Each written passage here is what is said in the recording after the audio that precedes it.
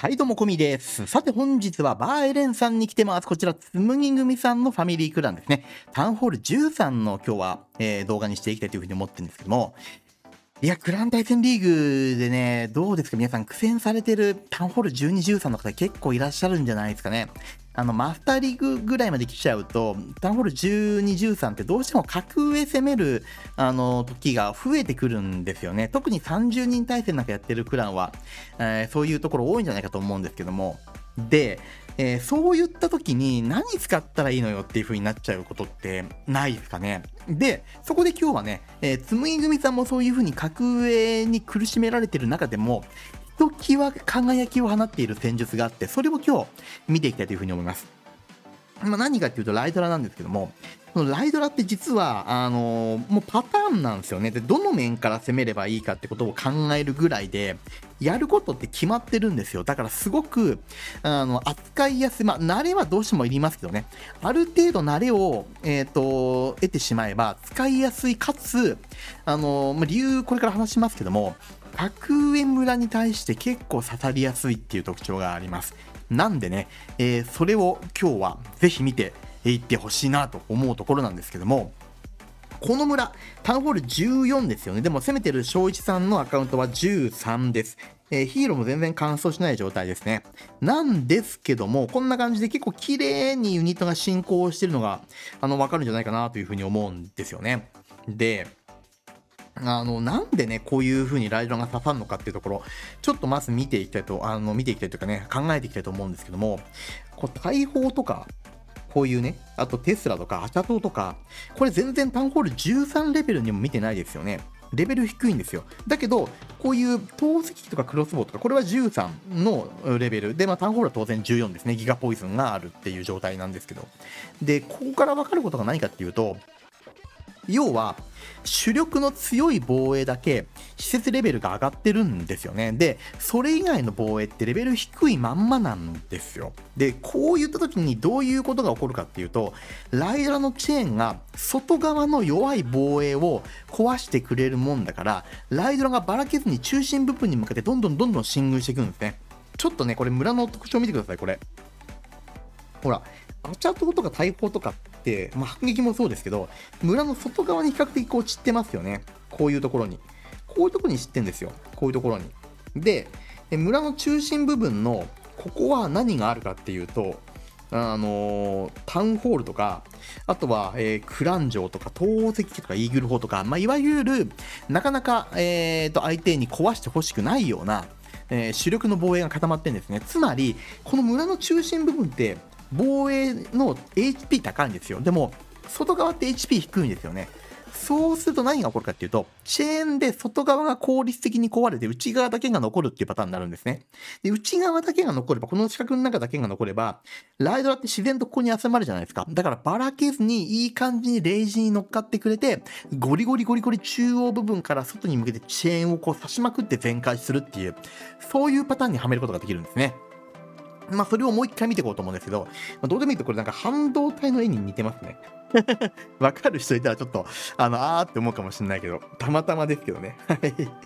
えーとね、はい、こんな感じで、やること何かっていうと、まずは両サイドのカットを入れます。こういう風にね。キングとあとクイーンも出してカットを入れる。で、このライドラ2体出してカットちょっと入れた間から全部ライドラを残り出していって、で、バルーンは2体ホーミングチェック。残りのバルーンはこれ、え後からまとめてライドラの後ろにつけます。で、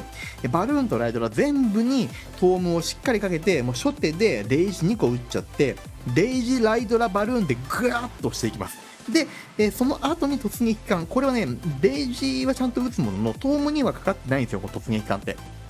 なんでトームにかけないかっていうと、ライドラとバルーンが序盤レイジに乗っかってトームかかった状態で前に進むことによって、タウンホールまでのところにある罠をある程度解除してくれているから、突撃艦にあえてトームかけなくてもいいんですね。むしろバルーンやライドラっていうのが、えーどんどんどんどんトームかからずに前進しちゃうようなことが起こっちゃ困るので、そっちにレイジートームをかけるのに、もうその手さばきを割いていって、で、突撃艦はあとタイミング見計らって、えしっかりタウンホールまでの罠が回収しきれたなというところを見計らって出していくっていうね、このまあ突撃艦投げるタイミングがちょっとね、難しかったりもするんですけど、まあこれからね、そのちょっと危うかったところも見てほしいと思ってるんですが、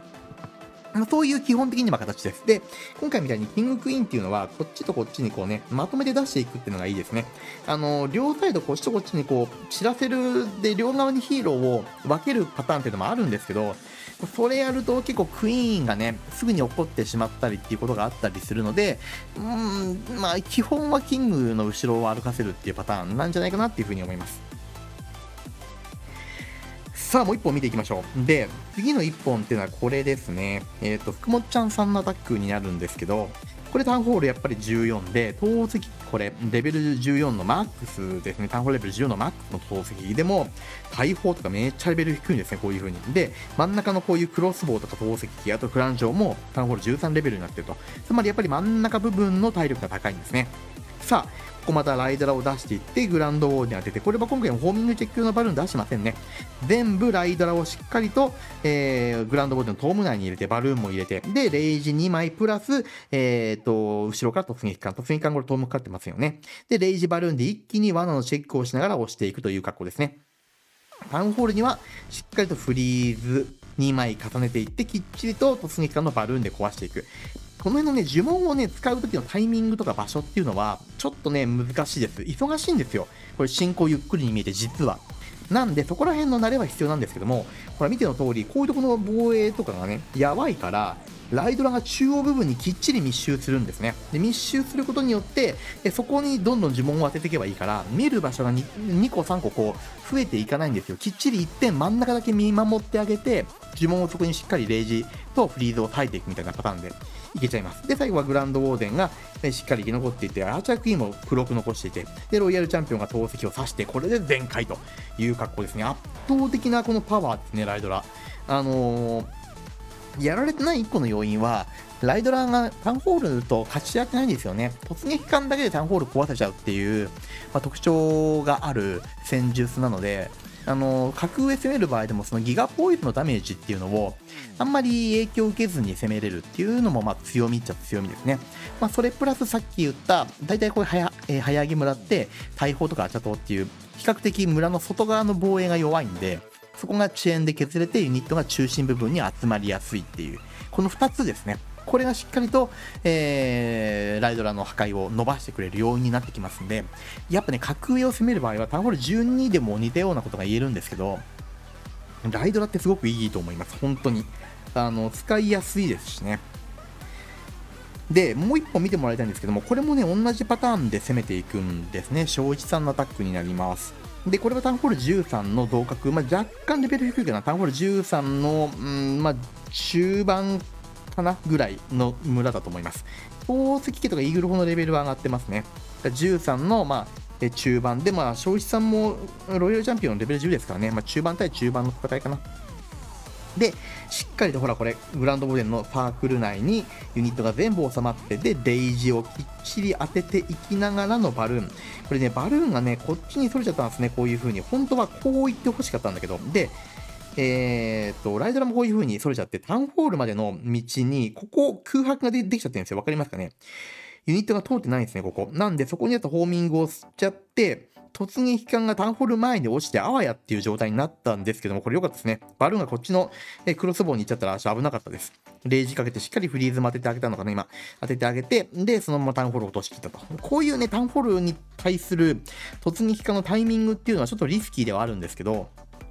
まあ、逆に突撃艦でこう倒したことによって、ここにね、えっ、と、ユニットが入ってこなかったもんだから、爆破ダメージとかもほぼ受けてないんですね。で、ライドラがもう、悠々ともう残った防衛を壊していく。この村もタウンホール12レベルの大砲とか、えー、えっと、アタトとかがたくさん残っていたんで、まあ、そこに対してはライドラがいい感じにこうチェーンさせてくれて、で、中央部分から、ライドラを反らさずに、進めることができていたというところですね。倒的なんですよ。本当に圧倒的。なんで、えー、今言ったパターンですね。えっと、ここの序盤だけちょっとお話をもう一回すると、えー、ライドラで両サイドをカットしていく。で、その間に本体を出していくと。メイン部隊を出していく。キングとクイーンは、えー、外周側をこうね、歩かしていきながら、ライドラ、バルーン、ドバドバと出す。バルーンは、ライドラの前に出さない方がいいです。まあ、2個3個、ホーミングチェック用ならいいんですけど、全部出しちゃうと良くない。むしろ、えー、と、トーム、レイジの状態でどんどん前に進めて罠の解除をさせた方が圧倒的に効果が高いんで、で、レイジ2枚かけてトームかけて、で、後ろから突撃感を当てていくと。でもこの辺からもユニターもう全部出してるんで、えー、呪文打つ場所だけですね、を気をつけるっていう感じです。で、突撃艦ちょっとこれ早かったんですけども、ちゃんと、えー、もう少し待てていれば、おそらく、ね、このタウンホールに突撃艦がちゃんとピンポイント届いて、え、しっかりレイジプラスフリーズをかけてあげて、突撃艦でタウンホールを落とすというところですね。これね、フリーズだけレイジだけにしちゃうと、タウンホールが落ちないリスクあるんで、慣れないうちはレイジフリーズ、レイジフリーズを両方とも使ってタウンホール取るというように考えておいた方がいいですね。で突撃艦の中身はバルーンプラスドラゴンライダーというね、組み合わせがいいかなというふうに思います。なんでドラゴンライダーいるのっていうと、あのトルネードを食らった場合ですね、あのバルーンがタウンホール殴らないことがあるんですね。でもちゃんとそこにレイジがかかっていて、えー、フリーズもついていれば、えー、中から出てきたドラゴンライダーがトルネードにかかりながらもタウンホール殴ってくれるんで、そういう意味でドラ,、えー、ドラゴンライダーの採用というのは結構ね、えよくやられるパターンかなと思います。こんな形で前回まで持っていくと。いうね、えー、ことで、えー、特にタウンホール12、13、格上村を攻めなきゃいけないですよっていう場合で、えー、主主力の防衛はレベル高いけども、大砲とか射頭とか、そういう、いわゆる外周に置かれるような防衛のレベルが低い場合には、ぜひこのライドララッシュ、試してみてもらえたらというふうに思います。はい、ということでですね、本日は、えー、タウンホール13のライドラーに関してお話をさせていただきました。どうだったでしょうか？こんな形で、えー、自分のチャンネル、タウンホール13と14が最近主かな、12ちょっと少なめですけども、の、えー、クラン対戦の解説の動画中心にやっております。えー、今回の動画いいなと思ったらグッドボタン、チャンネル登録、そしてこれからもご視聴いただけたら大変嬉しいです。では、本日も最後までご視聴どうもありがとうございました。また次の動画でお会いしましょう。バイバイ。